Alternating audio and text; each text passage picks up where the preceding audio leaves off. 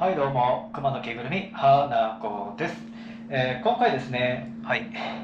ちょっと拡声器ちょっと使うネタってことで、えーちょっと小説ねちょっと軽く読んでみるということをねしてみます。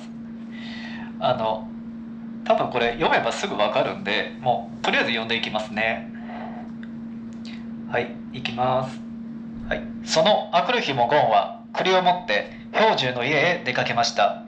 氷柱は物置で縄を張っていました。それでゴンは家の裏口からこっそり中へ入りました。その時氷柱はふと顔を上げました。と狐が家の中へ入ったではありませんか。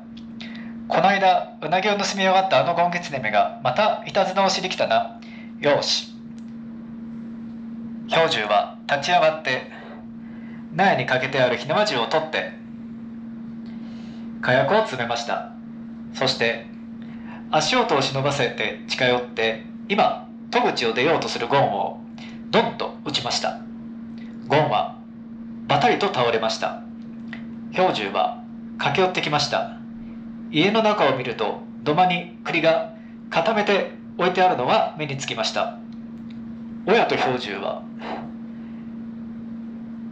びっくりしてゴンに目を落としました。ゴンお前だったのか？いつも栗をくれたのは。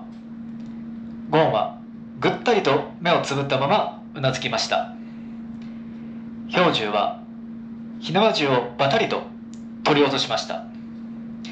青い煙がまた筒口から細く出ていました。ということでこういうね感じで、えーまあ、朗読してもねあの大きな声張り上げてなくていいというのはね、えー、覚醒器のメリットですね。はい。ある意味しゃべるゆるキャラにはね、えー必需品かもしれません。